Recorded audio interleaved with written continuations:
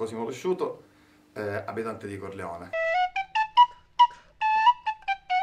Tanto va a quettare all'acqua che si rompe o si sciacca. Sta ad indicare che più si porta la brocca di creta a caricare l'acqua, più è alto il rischio che o si rompe o si lesiona.